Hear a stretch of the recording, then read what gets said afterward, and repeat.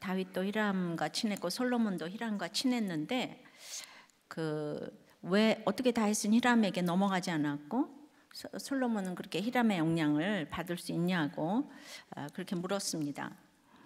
아, 그렇죠. 다윗은 사랑을 하면서도 분별은 하고 그 두로왕 히람의 영향을 받지 않았다면 솔로몬은 히람의 영향을 받고 넘어갔습니다.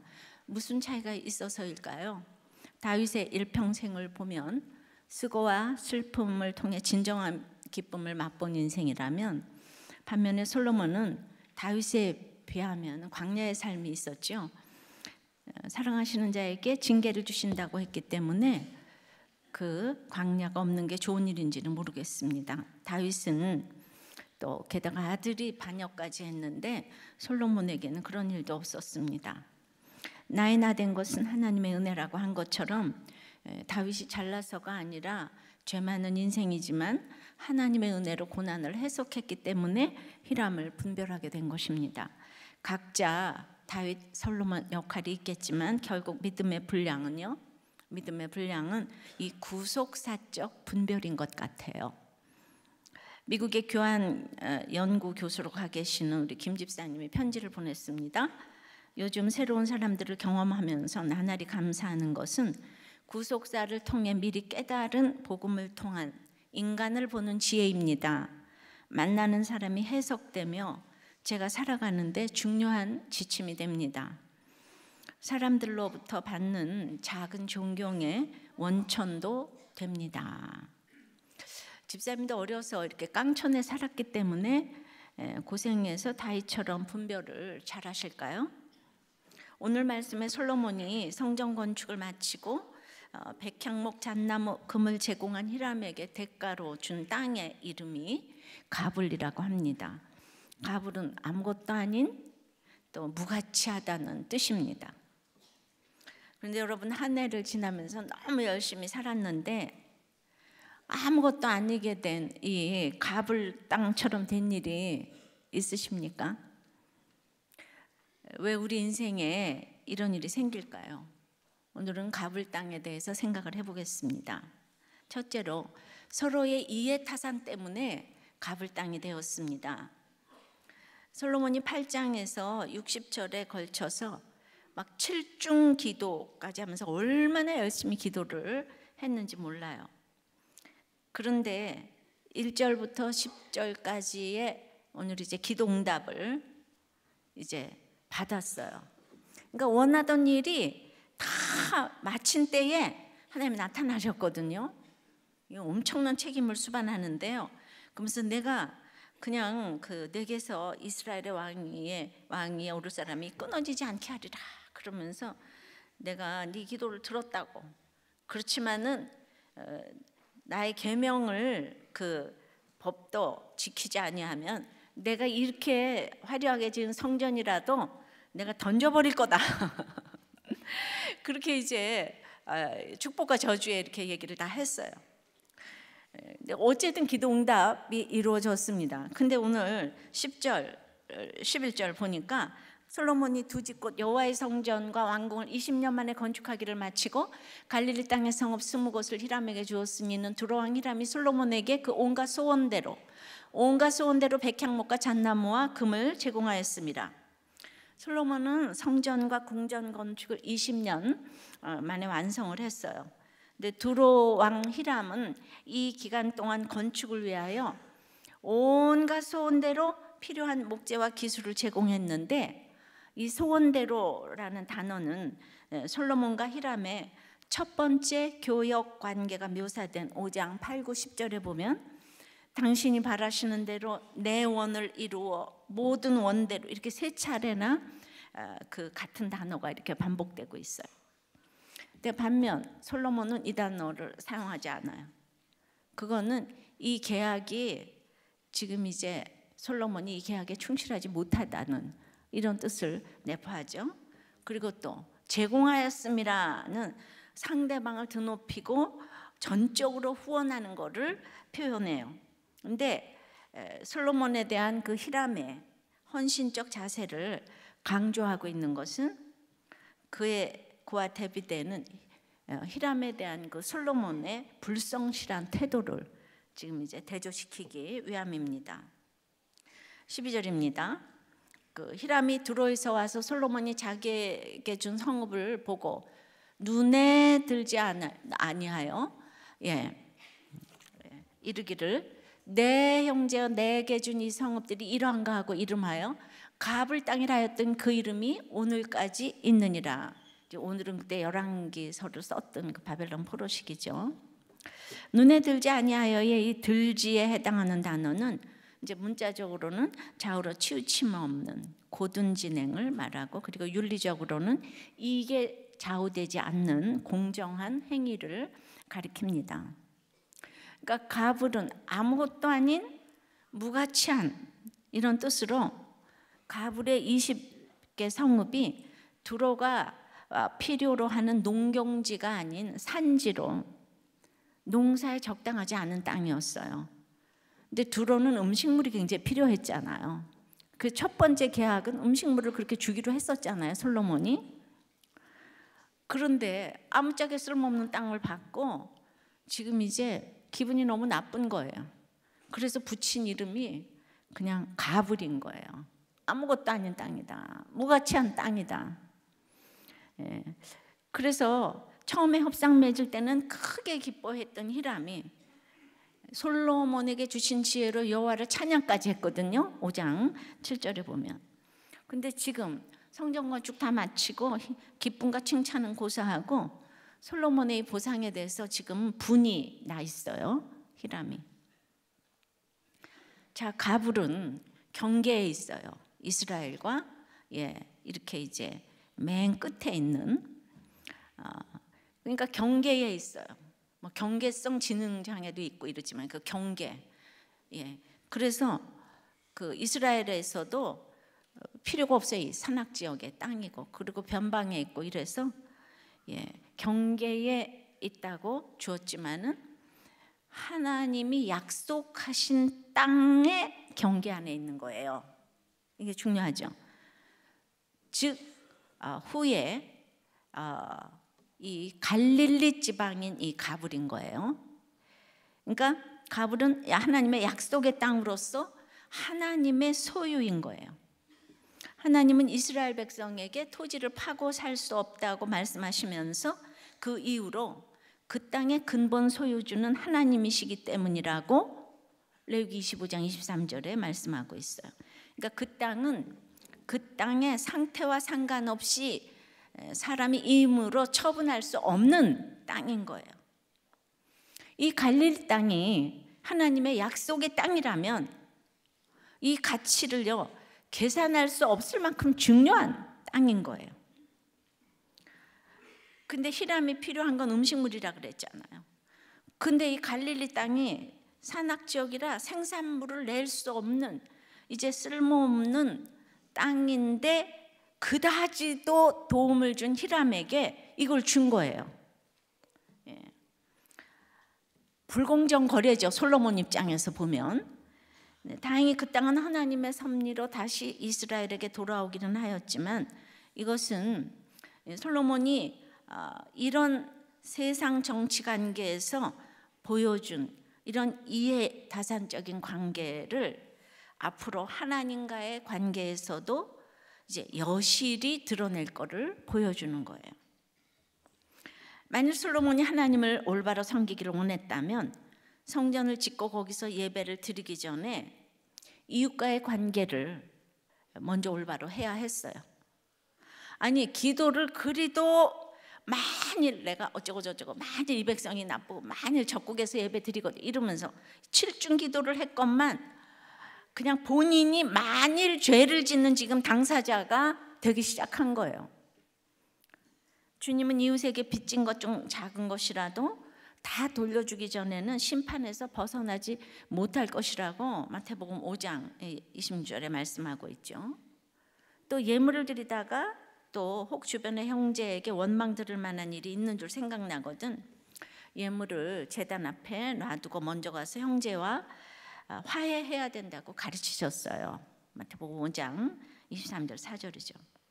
그런데 솔로몬이 그러지를 못했어요. 결국 이웃과의 관계를 잘 유지하지 못했기 때문에 이후 하나님과의 관계도 이제 무너질 수밖에 없었죠. 솔로몬의 이런 처사는 에서가 팥죽 한 그릇에 장자의 명분을 팔아넘기는 것과 비슷할 만큼 무지한 거죠. 누가가 누군가 자기가 가진 금덩어리를 예, 돌로 바꾸었다면 얼마나 다들 정말 그 손가락질을 조롱을 하겠어요. 마찬가지로 우리가 만일 하나님이 주신 약속을 세상에 주는 것과 거래하려고 한다면 이거야말로 바보예요. 정말 어리석은 어, 정말 짓거리예요. 그럼 이걸 이제 우리 삶으로 적용을 하면 어떻게 할까요? 예, 망하고 실직하고 취직도 못하고 애는 공부도 못하고 대학도 못 가고 집안은 이혼 직전이고 예, 예, 다 이런데 경제 가치가 전혀 없는 자녀, 부모, 배우자라서 지금 당장 버리고 싶습니까? 어떤 남편이 20대인데 지금 이제 이혼을 하자고 한다는 거예요. 자기는 오직 10년 동안 돈만 벌고 성공하고 싶다면서 이제 이혼을 해달라는 거예요. 그러니까 가진 말로 이혼을 해달라고 하면은 20대니까 뭘 알겠어요. 다 시달리다 지쳐서 해주고 싶지요. 말도 안 되는 이유를 다 갖다 대는 거죠. 하지만 가정은 하나님 나라의 축소판이에요. 이 20대 청년이 가치관도 없을 뿐더러 인간적으로도 철이 없는 거죠. 그러니까 이거는 이제 누군가 잡아줘야 되는 거예요. 그 이유를 갖다 댈 때 거기에 속으면 안 되는 거예요. 말도 안 되는 이유인 거예요. 예. 근데 철없는 젊은이들만 그런 게 아니에요. 어른 부모도 다 똑같아요. 자녀가 잘나지 못하면 실패한 인생이고 끝이라고 생각을 하니까 다들 가불이 되면 안 된다고 부르짖으면서 이기고 이기려고 하는 거죠.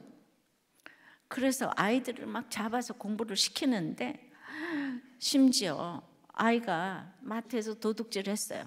그래도 얼마나 공부에 스트레스가 되면 도둑질을 하겠냐. 어디서 본 거죠? 하면서 스트레스를 풀라고 내버려 두는 거예요. 아니 도와줍니다. 마트 주인에게 돈을 다 주고 훔쳐가는 것만큼 갚아주고 다 놔두라는 거예요. 저 아이도 스트레스를 풀 수 있어야 되지 않냐. 여러분들에게 분별이 잘 안 됩니다. 그러면서 예. 그래서 그 내 새끼 내가 키우는데 그거 얘기를 하면 네가 웬 참견이냐면서 그러니까 이런 아이들이 커서 다 예, 법대 가고 의대 가고 이렇게 해서 결혼을 하고 요즘에 색가족이잖아요. 그러니까 다 이혼을 밥 먹듯 하는 거죠. 다, 나, 나 위주로 살았잖아요. 내 맘대로 훔쳐도 다 누가 갚아주고 내 맘대로 술 먹고 뭐 어쩌고 저쩌고 해도 세상 가치관이 얼마나 무가치한 가불인지를 알아야 하는데 하나님 나라를 가불로 보고 버리고 무시합니다.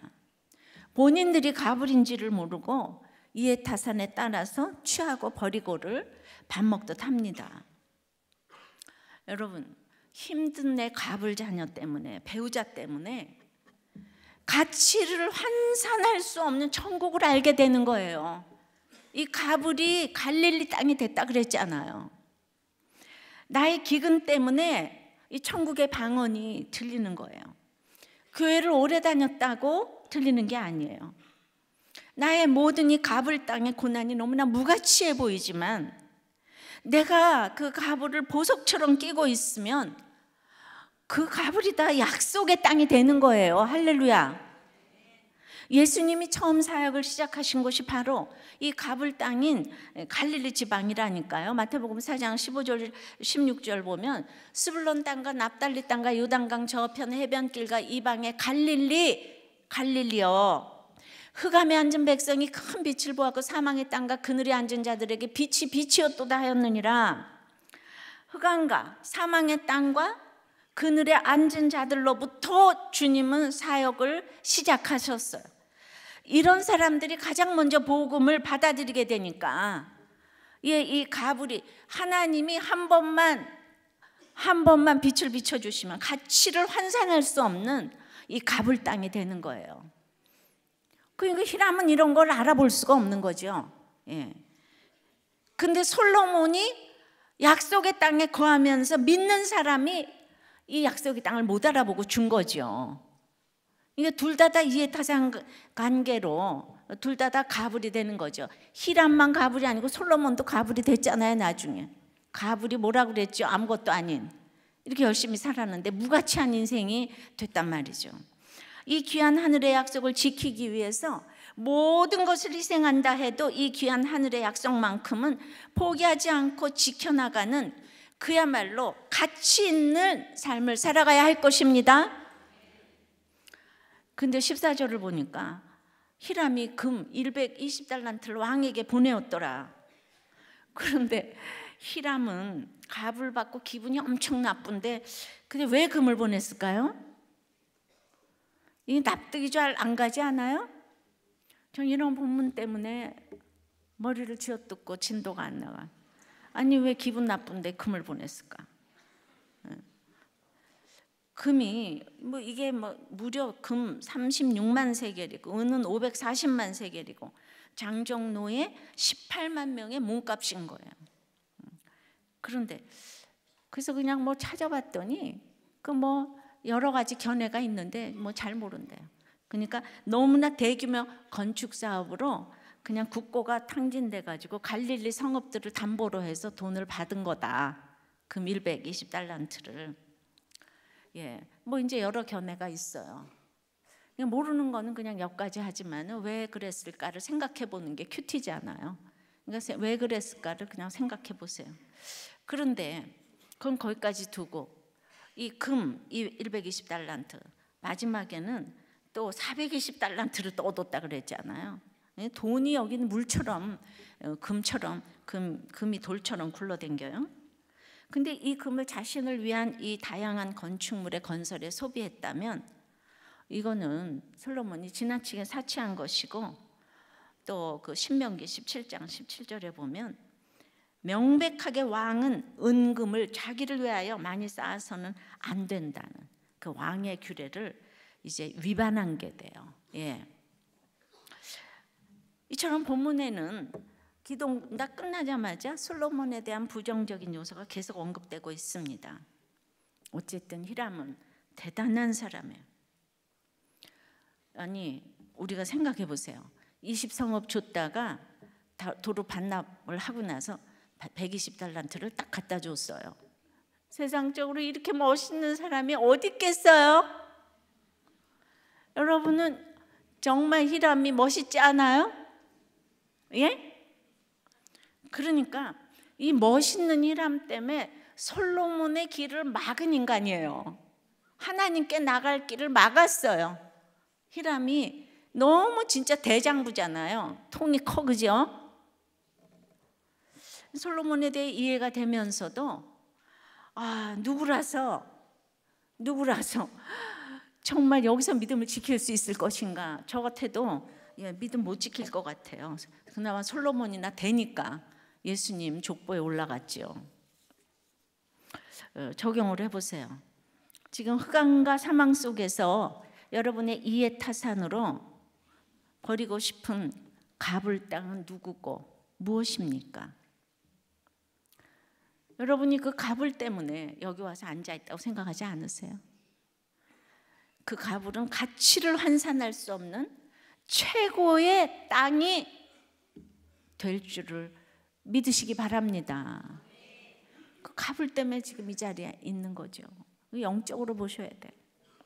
자, 두 번째는 불신 결혼했기 때문에 가불 땅이 되었어요. 이 솔로몬의 불신 결혼, 네 여파로 역군과 마병과 노예가 이제 등장을 합니다. 예, 첫 번째로 역군은 15절에 보니까 솔로몬 왕이 역군을 일으킨 까닭은 이러하니 여호와의 성전과 자기 왕궁과 밀로와 예루살렘 성과 하솔과 무기따와 겟세를 건축하려 하였습니다. 이 15절에 보면 솔로몬이 건축한 성전, 왕궁, 밀로, 예루살렘 성과 하솔, 무기따와 겟셀 등 여러 가지 건축물들이 그 일정한 순서를 가지고 지금 배열이 돼 있잖아요. 근데 건축물들 가운데 성전과 왕궁을 제외하면 다른 모든 것들은 이스라엘의 국방을 위한 그 요새들인 거예요. 그러면 우리가 정치를 하려면 국방을 위한 것부터 지어야 되잖아요. 근데 솔로몬이 너무나 우선순위를 알아요. 중요한 것을 알아요. 그래서 성전부터 7년을 지었잖아요. 그리고 왕궁까지 합쳐서 20년에 그걸 짓고 나서 그 다음에 이제 다른 성곽 요새 이런 것들을 건축했으니까 솔로몬이 이제 범사에 무엇을 앞세워야 하는지 알고 있었기 때문에 그래서 어, 타락한 후에 하나님은 이것들을 기억하시고 당대에 벌을 내리지 않으신 것 같아요. 이 수고도 아무나 할 수 있는 건 아니거든요. 그러나 바트 이 위해서 솔로몬이 역군을 일으켰다고 해요. 역군을 일으켰다. 자, 성경을 많이 알면 적용이 풍성해. 모세는 성막 지을 때 역군 일으켰다는 말이 없어요. 다 솔로몬, 저 모세 성막 지을 때는 다 자원해서 했어요. 자원해서 예물도 남았어요. 그 피난 시절에 예물도 성전 짓고도 다 남았어요. 그러니까 역군을 일으키는 것은 성경적이 아니에요. 결국 여러, 보암이 역군들의 불만을 모아서 반란을 일으켜서 괴수가 되었거든요. 그러니까 어떤 단어를 주로 사용하는가에 보면은 그 리더의 그런 모든 어, 그 저기 그 중요하게 여기는 것들이 다 나와 있죠. 인격이 드러나고.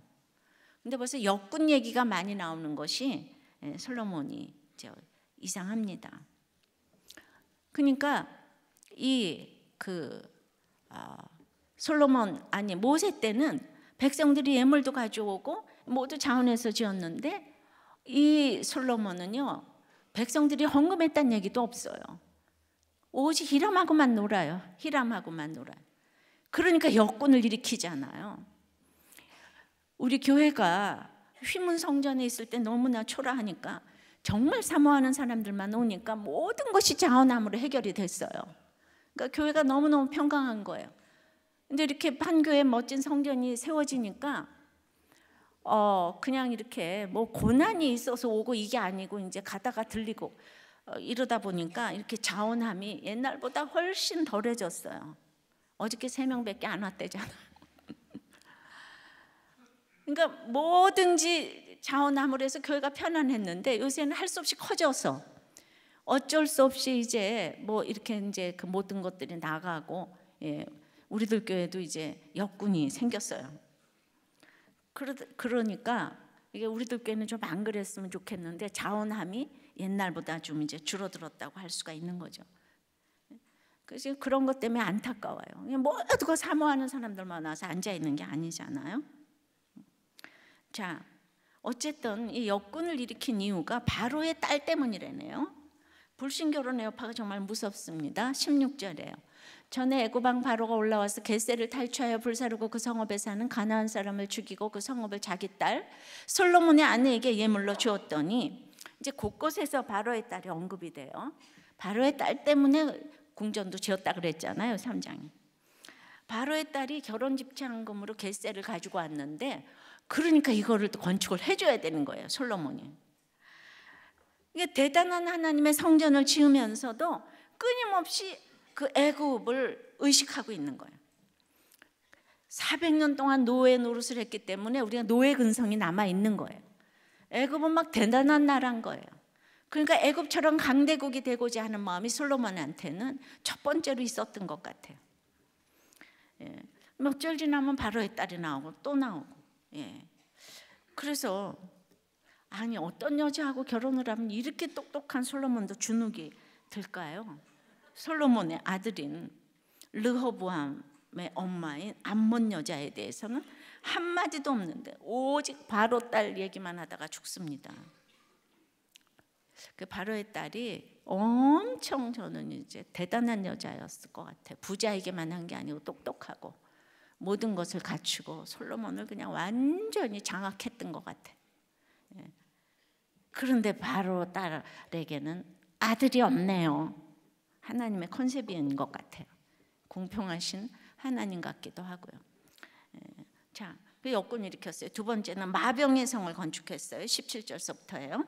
솔로몬이 게셀가 아래 베토론을 건축하고 또 바알락과 그 땅에 들어있는 다드몰과 자기에게는 모든 국고성과 병거성들과 마병의 성들을 건축하고 솔로몬이 또 예루살렘과 레바논과 그가 다스리는 온 땅에 건축하고자 하던 것을 다 건축하였는데 그런데 이 모든 것들이 지금은 어디에 있냐? 지금 이거예요. 열왕기상은 이스라엘이 왜 멸망했는지를 지금 이제 그 유추해 보는 책이잖아요. 그래서 이거 바벨론 포로기에 기록된 거예요.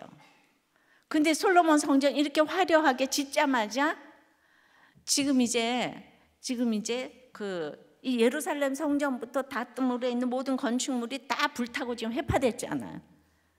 그러니까 아무리 성전 멋있게 지으면 뭐 하냐? 지금 이게 다 무너졌다. 지금 이 얘기를 하는 거예요. 근데 바로의 딸에게 준그 그 바로의 딸을 위해서 건축했던 거 이거 다 무너졌다. 게다가 이 마병의 성을 건축했대잖아요. 하나님은 분명히 말들을 두지 말라고 그랬어요. 애굽으로 돌아갈까 봐. 그래서 왕은 말을 두지 말고 이랬는데 뭐 말을 두는 것뿐만이 아니고 마병의 성까지 성까지 건축을 했어요. 성전 짓는 솔로몬의 열심이 하늘을 정말 찌릅니다. 불가능이란 없어 보입니다. 바로의 딸 때문에 계속 이렇게 의식이 되는 거예요. 예. 세 번째는 그 노예를 삼습니다. 어, 그러니까 건축하면서 안 믿는 가나안 사람들을 다 노예로 삼았어요. 하나님은 가나안 사람들을 쳐서 멸하라고 했지 남겨두었다가 노예로 삼으라고 하지 않았어요. 그러니까 말씀을 묵상하지 않으면 이렇게 타협하고 싶은 유혹에 유혹에 많이 빠지는데 특별히 이 일이 일이 눈에 보이는 솔로몬이 그러죠. 그러니까 자기 마음대로 해석을 하는 거죠. 20절입니다.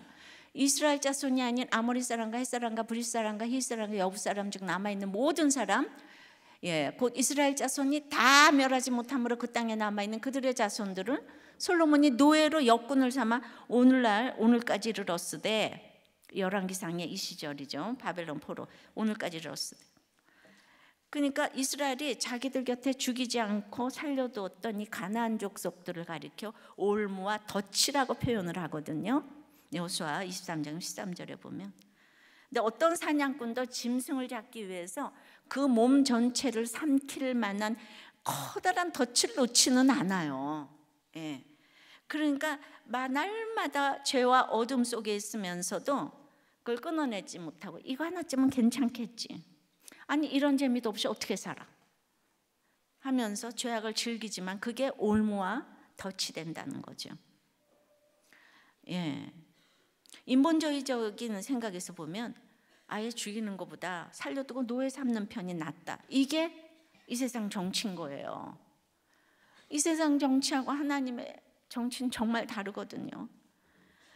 하나님은 늘 구속사적인 맥락에서 세상적인 것은 남겨두지 아, 말고 멸하라고 했는데 음, 가나안에 이르렀을 때 이렇게 다 멸하지 않고 남겨둔 가드 사람 중에서 이스라엘 괴롭히고 다윗을 괴롭힌 골리앗이 나왔잖아요.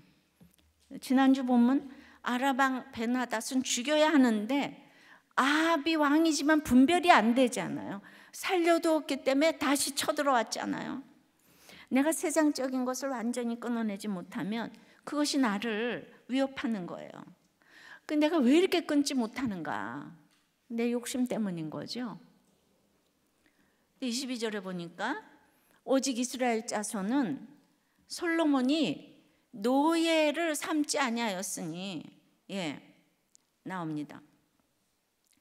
하나님은요 출애굽의 역사를 통해서 이스라엘 백성들 모두를 400년 노예 생활에서 풀어 주셨어요. 그토록 강팍한 압제자 바로로부터 하나님이 자유케 하신 이 사람들을 어떻게 감히 노예를 다시 삼을 수 있겠는가?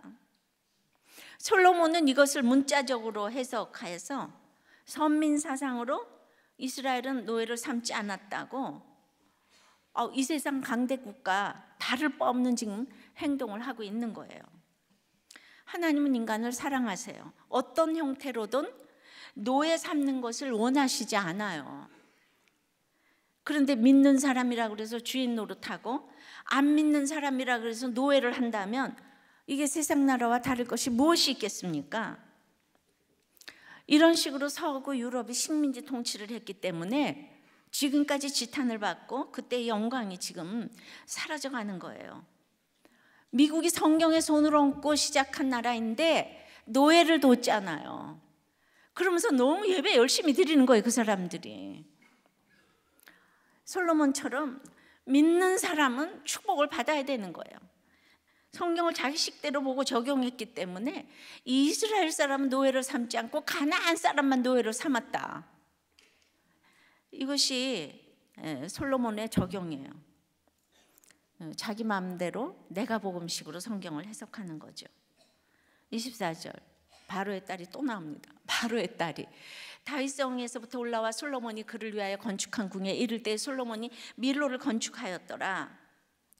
이스라엘 백성이 바로의 딸을 이방인이라고 생각을 하니까 바로의 딸이요 다윗궁에 거하지 못해요. 근데 다윗궁에 거하지도 못할 대통령의 딸은 데려오면 뭐 합니까? 함께하지 못하고 백성들 눈치도 보면서 늘 거리를 두고 있어요. 이 바로의 딸을 보면 우리가 얼마나 자녀들의 결혼을 위해 기도를 많이 해야 하는지 우리가 정말 그 깨달아야 합니다. 학벌 따지고 재산 따져서 결혼을 했는데 서로 가치관이 다르면 함께 거하지 못할 일이 얼마나 많겠습니까? 지금 그렇게 공부 잘해서 대학교 가면 뭐 하겠어요? 이 세상 가치관으로 키운 자녀들이 조금도 못 참지요.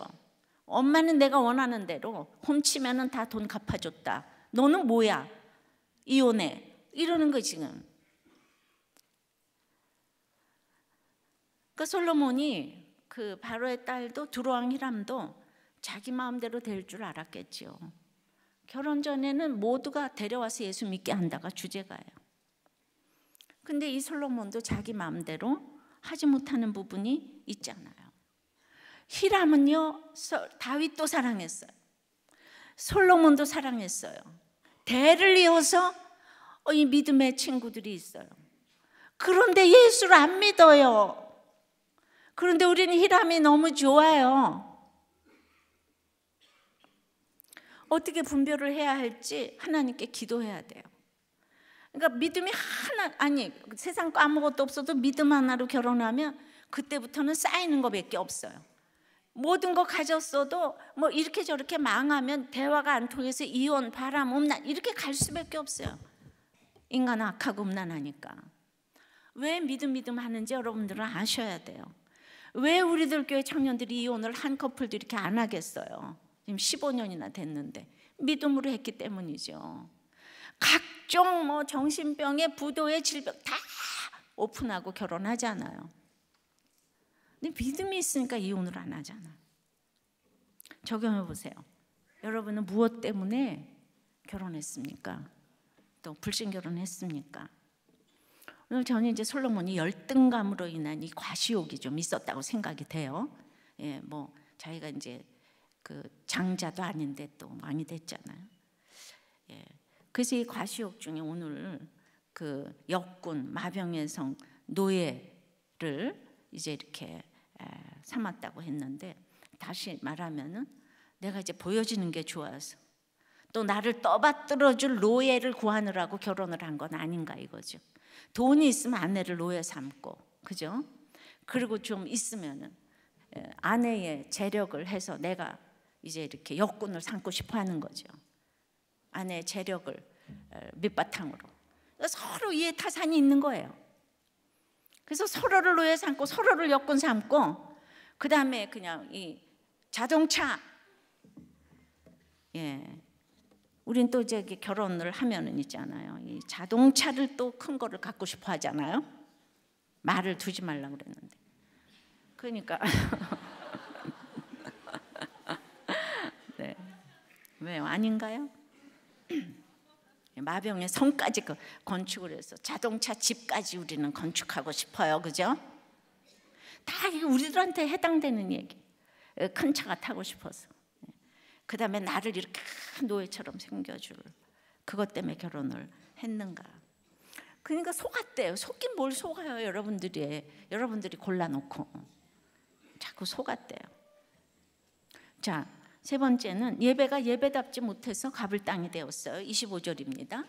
솔로몬이 여호와를 위하여 쌓은 제단 위에 해마다 세 번씩 번제와 감사의 제물을 드리고 또 여호와 앞에 있는 제단에 분양하니라 이에 성전 짓는 일을 마치니라.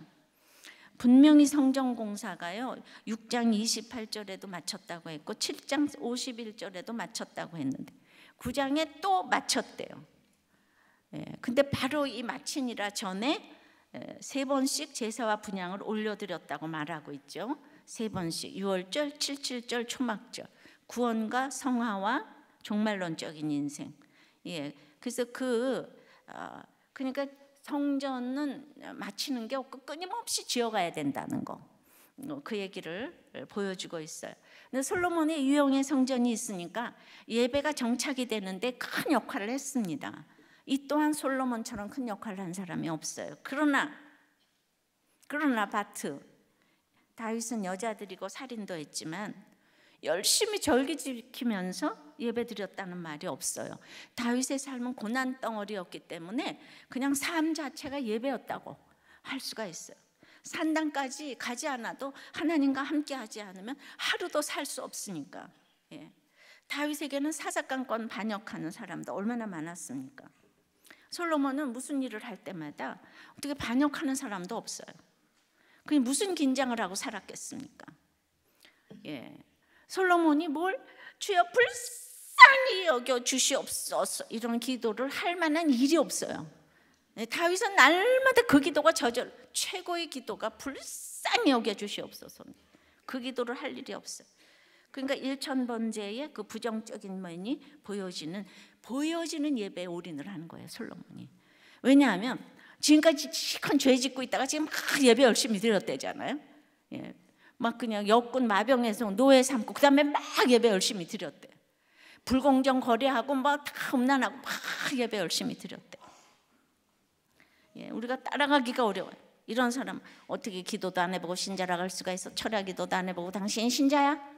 이런 사람이 솔로몬 같은 사람. 적용 질문 드려요. 여러분의 예배는 삶 자체입니까? 형식적인 예배입니까? 기복도 너무 간절하죠. 예, 이게 꼭 솔로몬 같잖아요, 그죠? 예, 대기업에서 일하고 있는 자매가 너무나 항상 마이너스래요.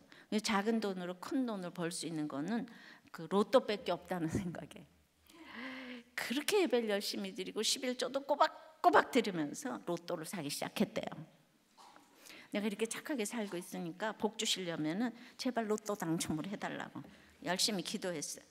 근데 이제 그걸 사다가 중독이 되었어. 하지 않으면 불안해요. 네.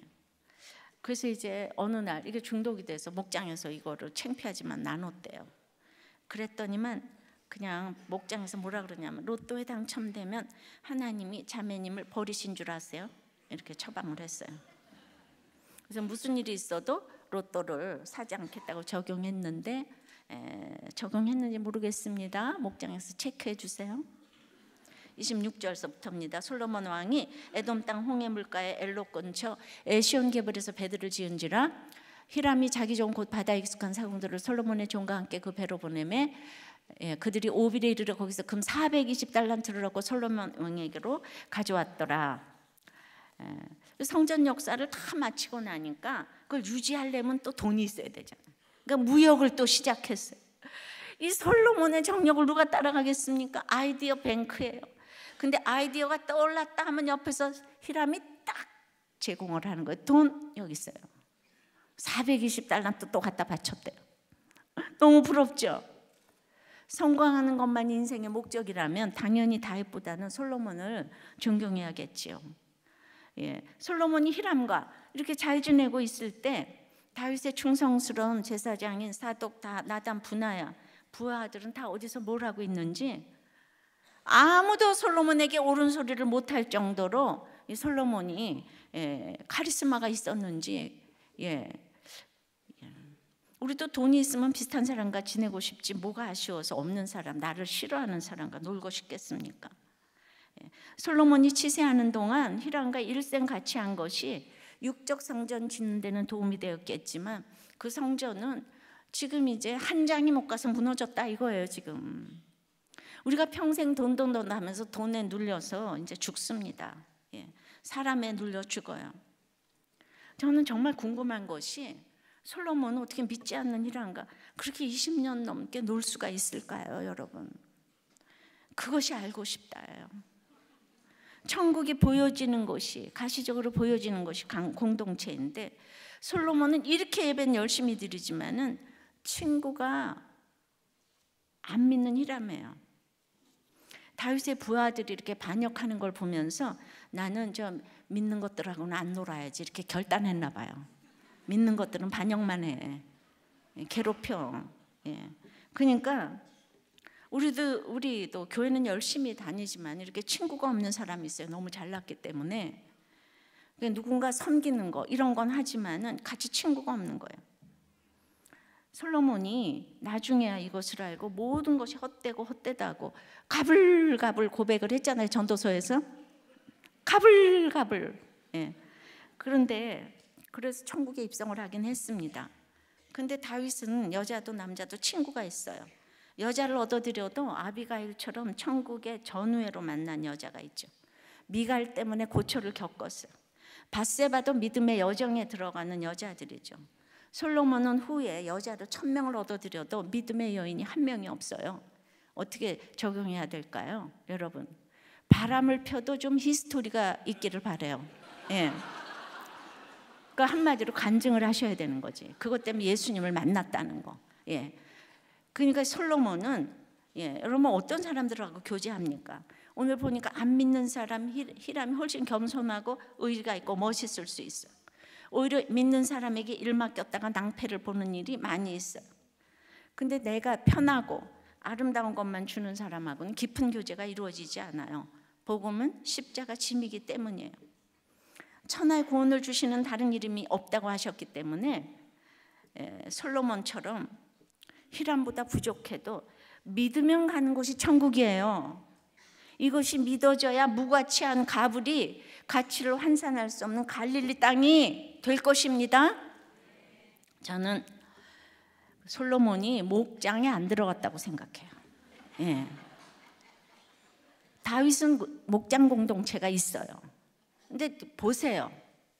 예, 부자하고만 놀잖아요, 솔로몬이. 그러면 또 목장이 얼마나 중요한지 몰라요. 자, 적용해 보세요. 돈 벌어서 하나님께 영광 돌린다고 아직도 세상 친구가 더 좋습니까? 이제 교회 공동체가 좋습니까? 오늘 공동체 고백은 솔로몬처럼 내 왕국을 만들고 싶었다는 집사님의 이 큐팅 간증이에요. 이 그 오늘 12절 13절에서 히람이 솔로몬에게 받은 귀한 약속의 땅을 알아보지 못하고 보잘 것 없이 여긴 것처럼 이 집사님도 그냥 가난한 부모 밑에 자란 탓에 내 인생에 도움이 되지 않는다면서 부모님을 가불처럼 무시하면서 이제 그냥 원망하면서 어느 순간부터 돈의 노예가 되어서 제가 제 자신을 여권 삼았습니다. 예. 그런데 이 가난한 부모 밑에서 성공했잖아요. 이분이 치과 의사가 됐으니까. 와, 이 솔로몬이에요. 그래서 많은 돈을 벌어서 성공하고자 했지만 성공하니까 음란한 술 문화에 이제 물들어가는 거죠. 그 길을 갔어요. 그런데 하나님이 이분 사랑하시니까 그냥 그 아래층에서 불이 나는 바람에 큰 손해를 봤어. 그래서 이걸 만회하려고 또 아파트 투기를 했어요. 그럼 이 사람이 예, 투자를 하면 그때부터 이제 거기는 이제 가불 가불 아파트가 되는 거. 다 가치가 없는 곳으로 바뀌는 거예요. 예. 그러니까 예, 그래가지고 이제 우리 또 주식하시는 또 집사님 한 분 계시죠? 그분도 치과네. 예, 그분이 주식을 사면 그, 그 회사는 반드시 망해요. 예. 그리고 그 주가가 떨어져요. 예. 그러니까 그분이 사는 것만 피해서 사면 예, 그 되겠더라고. 예. 그래서 드디어 이 치과 의사 부인을 다단계를 시켰어요. 예, 다단계까지 시켰어요. 대단계를 잘 보러 갈 즈음에 그 아내가 그냥 암이 걸린 거예요. 일을 그만두게 되었어요. 어, 근데 포기하지 못하고 이 자리가 좋은 상가 자리에 치과 하면 좋다 그래가지고 그냥 무리하게 대출을 받아가지고 치과 병원을 개업했는데 이 서로 그 사람이 많고 크게 하다 보니까 이해 타산에 얽혀서 갈등 관계로 인해서 3년 만에 또 다시 문을 닫았어요. 치과를 폐업을 했어요. 근데 두 주 후에 이 그냥 눈에 넣어도 아프지 않은 하나밖에 없는 이 딸 고등학생 딸이 대장암 판정을 받았어요. 손대는 일마다 성공은커녕 모든 일이 아무것도 아닌 가불가불이 되었어요. 예. 그러니까 그 20년 가까이 죽자고 무언가를 지었는데 남은 것이 많은 빚과 아내와 딸의 암 사건이고 드디어 이 치과 의사가 살 길이 막막해졌어요. 그래서 이분이 교회에 나왔어요. 근데 잘나가지고 목장에 안 나왔어요. 그제야 비로소 목장에 들어가게 되었어요. 여러분 목장이 이 정도 돼야 오는가 봐요. 믿음의 지체들이 한결같이 따뜻하게 대해줬고 함께 큐티하며 저의 왕궁이 아닌 하나님의 성전을 지어가게 되었습니다. 내 열심으로 이 세상의 모든 가불들을 무시했던 죄를 고백하니까 내 열심으로 살 때와는 비교가 안 되는 지금 영육간에 화평을 이루게 되었고 성경에 손을 얹고 결혼을 했는데 하나님의 성정보다 내 왕궁 지느라고 바빴던 지난 날을 이제 회개하면서 이제 그렇게 갑을 부모님을 무시를 했는데 이제 예수 믿게 해주신 부모님을 이제 정말 그 무시했던 죄를 이렇게 이제 용서를 구한다고. 이분에 적용하기는 행복한 가정을 애썼지만 오히려 가족을 병들게 한 저의 지난 죄를 목장에서 날마다 나누겠습니다. 밥 차려주는 아내, 심부름 해주는 딸을 당연하게 여기지 않고 고마움을 표현하겠습니다. 여러분들 우리들 교회 와도 이 목장에 이렇게 안 들어오는 거예요, 여러분들. 그냥 망해서 꼭 이렇게 돼야지 오겠습니까? 그러면은 목장이 좋아서 가려는 거예요. 목장이 가불 땅처럼 이상한 사람들 많아요. 근데 세상은 안 보겠죠. 솔로몬이 돈이 많으니까 믿는 사람을 하나도 안 만나는 거예요. 히람이 옆에서 해주니까. 이게 고난이 정말 축복이에요. 예. 그 목장에 가면 이상한 사람들 많아요. 가불처럼. 근데 그걸 보면서 내가 얼마나 죄인인가를 깨닫는 연습을 하지 않으면 사회생활을 할 수가 없어요. 여기서 연습해가지고 사회생활 하면서 구원을 위해서 나가는 거예요. 모든 걸 가지고 있을 때는 안 들려요. 자, 말씀을 맺어요. 왜 여러분들이 가불 땅이 되었는가? 서로 이해 타산 때문에 가불 땅이 되었어요. 불신 결혼했기 때문에 가불 땅이 되었어. 내 욕심 때문에 역군 노예를 삼고 마병의 성을 짓고 결국 예배가 예배답지 못해서 가불 땅이 되었다고 합니다. 그러니까 우리가 은혜 아니면은 내가 설 수가 없어. 모든 것이 은혜 아니면 설 수가 없어.